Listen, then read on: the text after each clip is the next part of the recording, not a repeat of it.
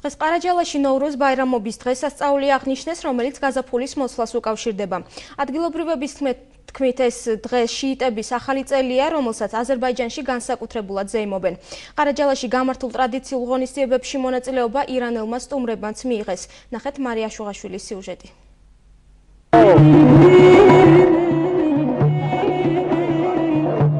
ტრადიციული ცეკვა და სიმღერა სოფელ ყარაჯარაში ნავრუზ ბაირამს ზეიმობენ. დღესასწაული ტრადიციულად ყოველი წლის 21 მარტს აღინიშნება. ბაირამის დღესასწაული შიიტებიდან მომდინარეობს. თელავის მუნიციპალიტეტის სოფელ ყარაჯარაში მას ყოველი წლის 21 მარტს აღნიშნავენ. ნოვრუზ ბაირამი გაზაფხულის შემომბრძანებას ნიშნავს. ადგილობრივების განმარტებით ნავრუზ ბაირამი მუსლიმანური სამყაროს ერთ-ერთი განშტოებიდან შიიტებიდან მომდინარეობს და ის სახალხო დღესასწაულად ითვლება.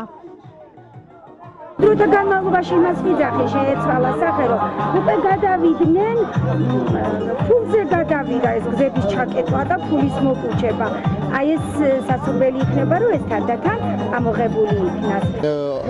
მე პირადად ვიყავი საქართველოს ფარკლების გარეთ საზღვარგარეთ ამ დღესასწაულისთვის ჩამოველი გადმოფრენდი საქართველოში რომ დღეს აგვნიშნა ეს დღესასწაული დღესასწაული რომელზე მოხვედრად სოფელში რამდენიმე ბარიერის გადალახვის შედეგად არის შესაძლებელი სამი დღის განმავლობაში გრძელდება. ამ სანახაობის საყურებლად დღეს სოფელ ყარაჯალას ირანელი სტუმრები ეწვივნენ. თაბრიშტირ ნორუზ ბაირამინ ჩვენ ირანიდან ვართ საქართველოსში ვიმყოფებოდით და ყარაჯალაში ამ დღესასწაულის აღსანიშნავად სპეციალურად ჩამოველით მე მინდა ყველა მორწმუნეს მივულოცო დღევანდელი დღე ლიბოი დუნიადა ჰარ იერდა ჰარ өлкәдә азар дилендә бар ბაირამი გურჯისტანდა ვულოცავ ყველას ბაირამს მე აღფრთოვანებული ვარ დღევანდელი დღით მიკვირს რომ საქართველოსი მუსლიმანურმა სამყარომ თავისი ტრადიციები არ დაკარგა აქ ყოფნის მანძილზე დავინახე თუ როგორი ტოლერანტი ხალხი ცხოვრობს საქართველოში.